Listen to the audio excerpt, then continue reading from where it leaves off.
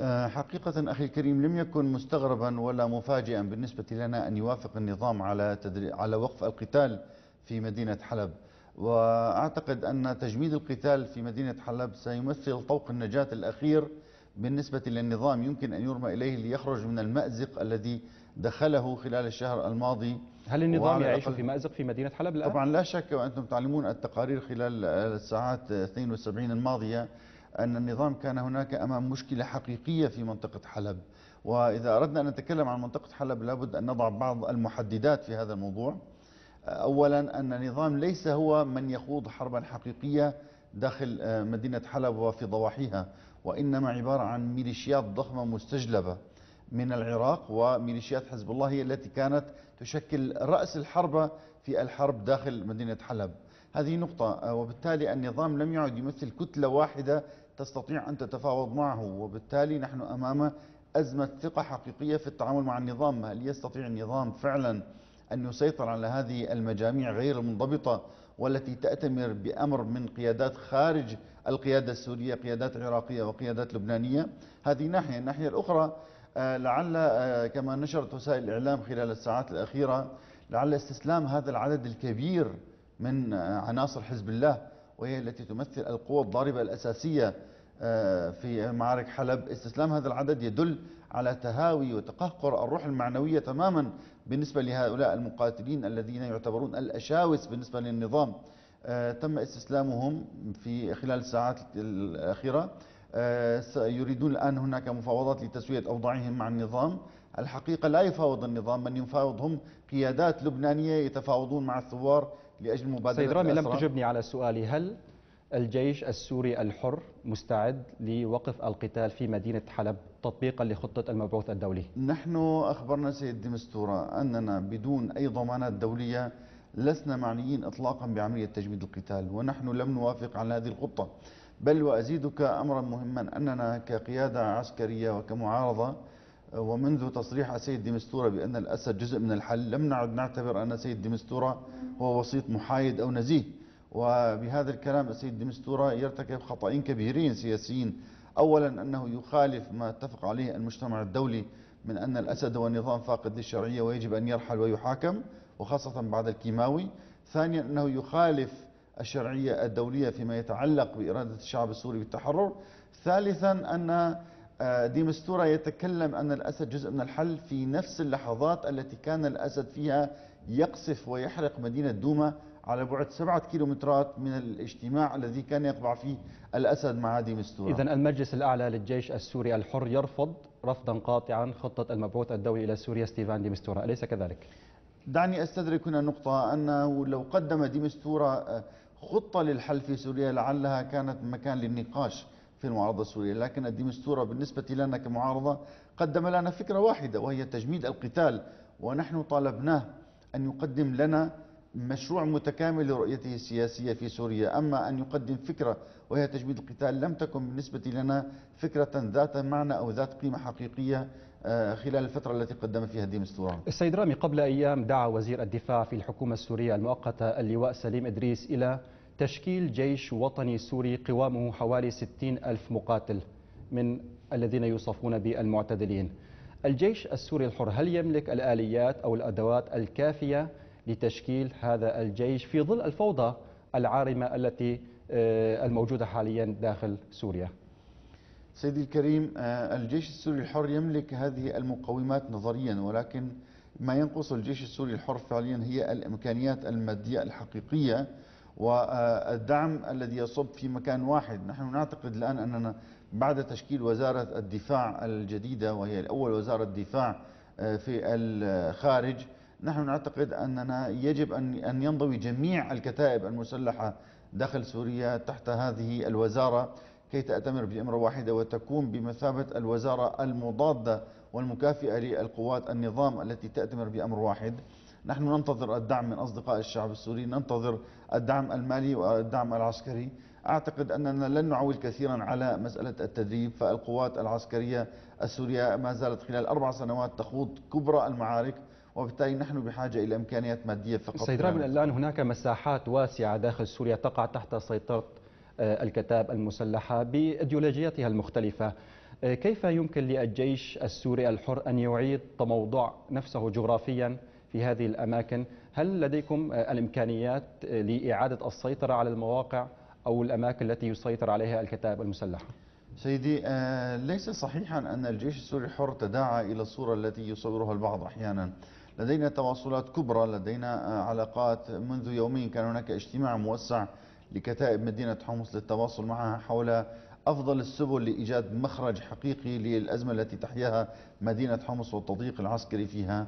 الجيش السوري الحر لا زال يملك التواصل القوي لا زال يملك كتائب فاعلة على الأرض لكنه يشكو فقط من قلة الإمكانيات العسكرية. آه، اللواء إدريس أيضا صرح قبل أيام أن هناك غزوا إيرانيا لسوريا تعقيبا على المعارك التي تجري جنوب سوريا وتحديدا في درعا. آه، ماذا عن المقاتلين الأجانب الذين يقاتلون في صفوف المعارضة؟ نحن نتكلم بشكل صريح أخي أن النظام السوري استدعى بقرار رسمي وهو دولة استدعى بقرار رسمي هذه الفصائل والميليشيات لتقاتل معه وهذا يمثل خرقا للنظام الدولي حيث آه، هذا أولى تعريف الإرهاب أن هناك قوات عسكرية تقاتل خارج أراضيها وبالتالي ثبت للجميع وباعتراف حزب الله أنه يقاتل خارج الأراضي اللبنانية في سوريا وهذا يمثل تعريفا واضحا للإرهاب. أما المقاتلين الذين يقاتلون داخل الأراضي السورية أعتقد آه، أنهم مقاتلون أتوا من تلقاء أنفسهم لم يطلبوا أبدا ونحن في الجيش السوري الحر لم نطلب أبدا دعم ولا مؤازرة من الخارج.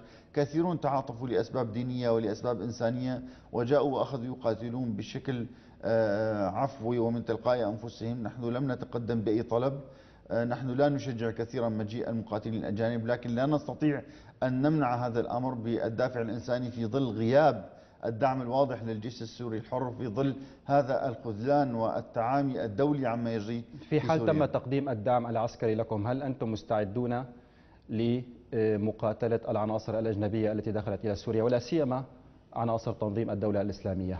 سيدي بالنسبة لعناصر الدولة الإسلامية نحن نعتقد أن داعش أو ما يسمى الدولة الإسلامية آه، هي شركة مساهمة مغفلة من أجهزة استخباراتية ومجموعة من البسطاء ولديها تعقيدات فكرية واجتماعية وتداخل قبلي في تلك المنطقة وأعتقد أنه ما لم تحل الإشكالية الأكبر في سوريا وهي بقاء النظام أو عدم بقائه. أعتقد ستبقى قضية داعش معلقة وستشكل هاجس ليس للمنطقة والإقليم ربما تشكل هاجس للعالم وأنت تعلم أحداث آه، فرنسا التي جرت الشهر الماضي وأحداث ليبيا منذ أيام وكل المنطقة أعتقد ما لم تحل إشكالية إسقاط النظام السوري ونحن أخبرنا أصدقاء سوريا أن أي محاولة لإضعاف الثورة السورية يعني مزيد من التشدد وأي عملية جدية لإسقاط النظام السوري تعني عودة التوازن إلى القضية السورية وبالتالي عودة الاستقرار إلى المنطقة هل تلمسون أي تغير في الموقف الأردني في مقاربة الملف السوري آه، بعد مقتل الطيار آه، معاذ الكساسبة؟ حقيقة لا زال الموقف الأردني مؤازر للقضية السورية لا زال داعما للكتائب لا زال معينا للتدريب لا زال هو موقف ثابت بالنسبة لنا. نعتقد آه، غير جازمين أنه هناك بعض الأفكار عن تدخل بري في بعض الأماكن لحماية الحدود الأردنية العراقية من أي تدخل لداعش خلال الفترة القادمة.